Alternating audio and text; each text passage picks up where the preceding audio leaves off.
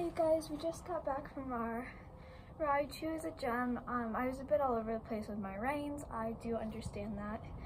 Um, but I'm gonna get her halter on her and just give her a nice little um, brush kind of in my hand because she's obviously not really sweaty and there's not um, much to really brush, but we've got her here and she's a gem. Got her western bridle and then put her halter on her. Yeah. Sweetie.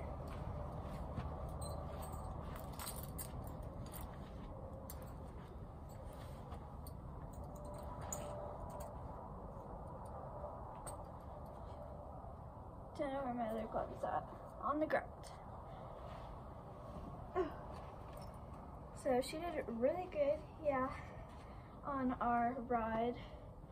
Um, I don't know why I put a halter on her because I'm just gonna take it right back off. It's just good for her to get used to. But um,